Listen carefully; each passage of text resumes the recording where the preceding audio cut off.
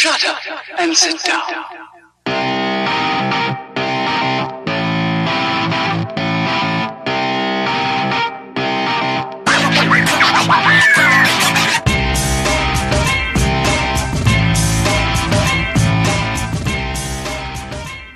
Hello, welcome or welcome back to TSC Talks, the podcast where we talk about tuberous sclerosis complex and other related issues. My name's Jill Woodworth and I'm your host. Thank you so much for tuning in. Thanks for listening to Alex Scooby last week. He gave us a little bit of a lighter episode and on today's episode, we're sharing a little bit more of an intense deep dive with my guest, Chelsea Holman. She is from Nevada. She happens to be personally affected by a TSC diagnosis, as well as several family members, including her son. We talk a lot about pretty much the full spectrum of life and manifestations with TSC, getting a diagnosis late in, li- well, not in her childhood, kind of putting the pieces together after the facts for her. She shares, you know, the struggles of people's judgments and biases, her own coping mechanisms, helping her kids with diet related issues, as well as much more. I split the episode into two different parts. So we're going to go about 30 minutes today, and the next episode I release will be another 30 minutes.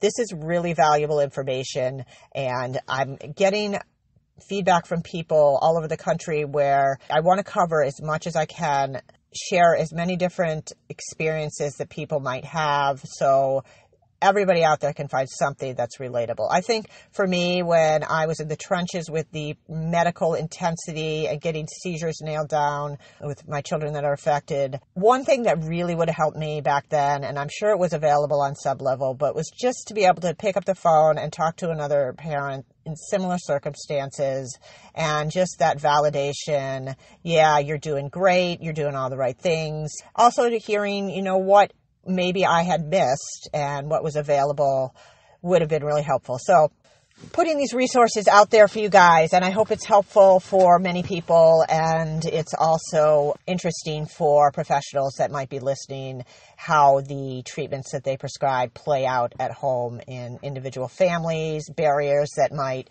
be encountered when the circumstances of their lives enable them to adhere exactly to treatments and how we manage that, juggling different medications, diet related issues. There's so many variables that impact the life, lives of us in general, but when you have a TSC affected individual or are affected yourself, you know, you're dealing with all different levels of potential landmines from physical, mental health, you know, socioeconomic status can be impacted, uh, relationships. There really is a lot at stake and a lot that we need to talk about. I think our best resource is each other as well as the medical and all the other professionals that work with us, but the moms and the parents that share their information, their resources, their the depths of their despair, their wonderful moments.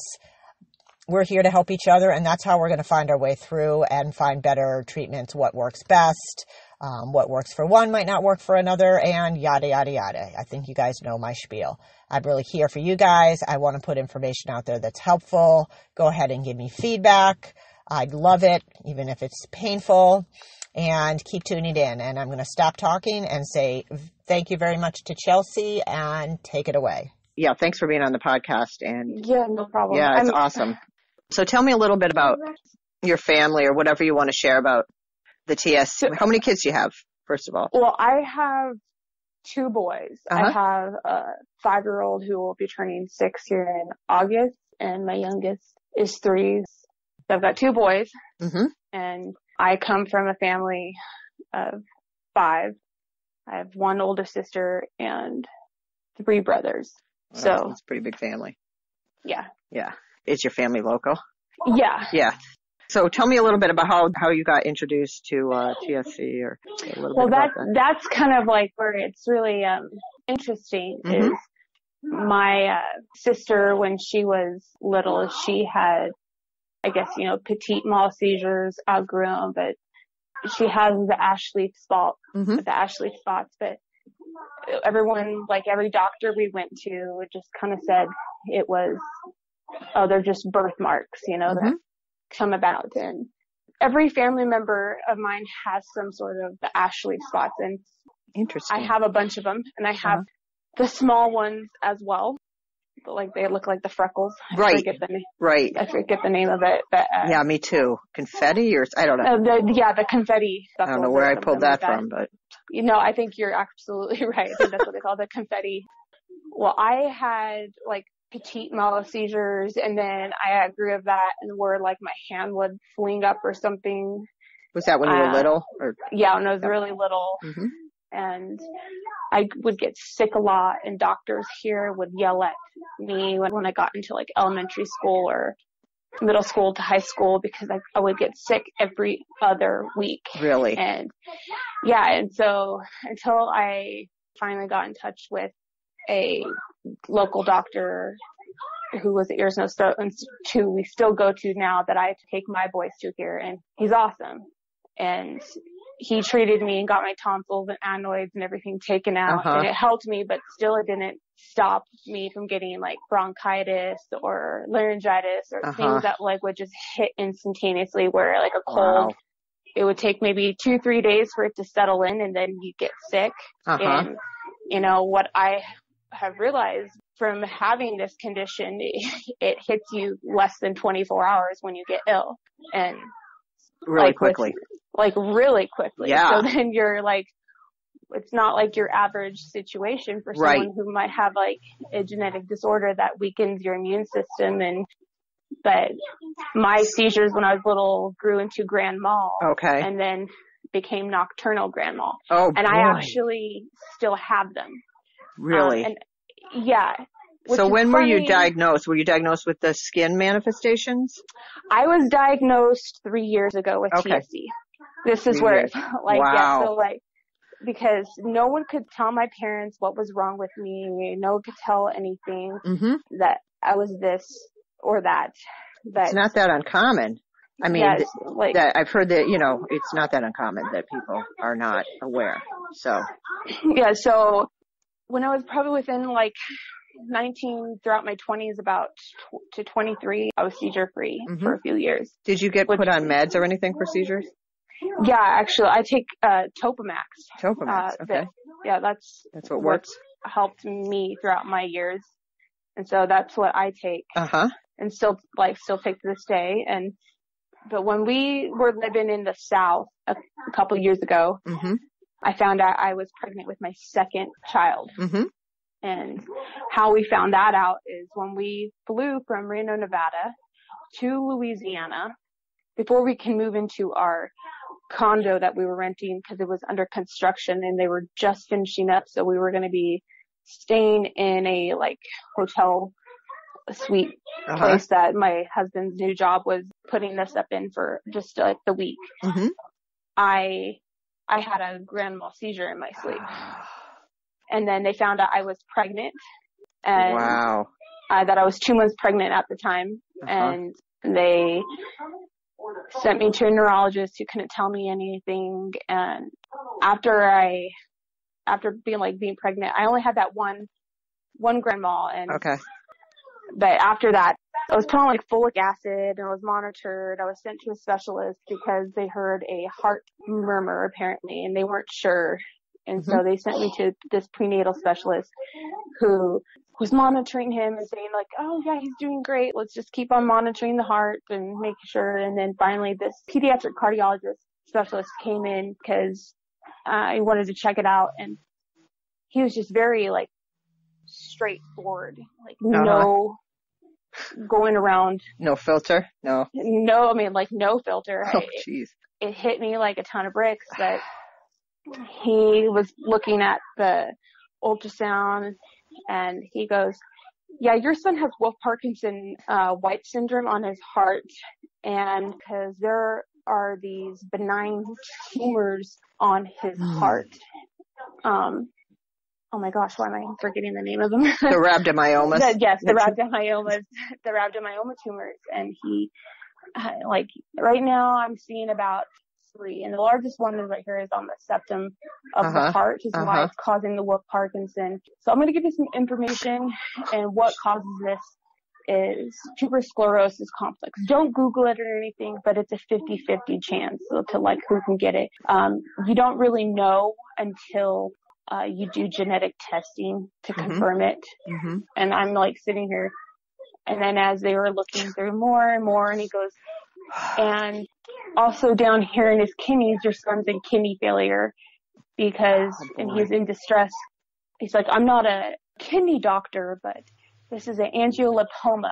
Yep. I think I'm saying that right. Angiomyolipoma. Yep. Yeah, the angiolipoma, and it's making your son's backwash, where it's making his Yep, kidneys flare, Oh, and he's not flushing, which is putting him into into distress, and that's why things are not going so well for him. And he goes, "You should be back here within like next week, and we'll check it out again. But you need to be induced immediately." And so that's what wow. ha- happened, and I got induced with him. How how far along were you? I was 37 weeks, Okay. so by when I hit 38 is when they induced me. So he was born on December 29th of 2015. He wasn't due till January 11th or something like that. Like, Okay. so he was supposed to be a New Year baby of 2016, and He was uh he just under the wire. Yeah. Yeah, just just right under there, and so he came, and he was the biggest baby in the NICU. He was in there for, yeah, and they monitored him, and they started him immediately on um some heart meds. Mm-hmm. They were gonna do surgery on, On his heart? kidney, Or oh, uh, on the his- kidney. uh, on the kidney. Mm-hmm. Uh, they didn't want to touch his heart because he was too small. They thought, I'm going, well, he's the biggest baby in the NICU. Uh, so they did that and, but then they came back I only got to hold him for three seconds and Oh my goodness. They- they- Chelsea. they said that he, in the South, you know, people really believe in God and, yes. and they Bible prayed. Belt. They Uh-huh. prayed, They did? prayed, prayed. They In the prayed, hospital? Like in the hospital, they prayed on, like, Uh huh. on behalf on their homes because they knew our situation and I guess they said by the grace of God that tumor on his kidney was diminished by by that. Not Really? that's because they that's what they said. They're like it's gone That is the have- first time I've heard this. because they were like wow he was in so much distress. One side of him was just so bloated Uh huh. and they kept him in the hospital for another week. So he was in there for like at least two weeks. Mm-hmm. my grandmother, who is 87, she came and stayed with us for a whole month to help me. And God bless her. well, it was nice because my mom was dealing with my father and helping him out. Uh huh. I then, like, you know, as you are pregnant, your hormones go crazy, things Oh, grow and like on yourself. And I'm going, okay, I need to go to a dermatologist. And that's where I found out with myself because I was Uh-huh. never confirmed Right. with having TSC. Mhm. I go to a dermatologist. They burned off some moles and they burned off some bumps on my face Mhm. and they went to go biopsy them and test them. And then I had my follow up and I, they go, I hate to break it to you, but you have something called tuberous sclerosis complex because these bumps that were on your face that we weren't very sure if they were boils or not, Mm-hmm. they are called angiofibromas. Wow. And I'm going, oh. And he goes, yeah. And the dermatologist is saying to me that, you know, if you're pregnant, especially women with pregnancy who have this genetic condition can bring out those more often with the hormones. And I'm like, that's kind of funny you say that because I just found out my son has that, um, like Uh a month ago.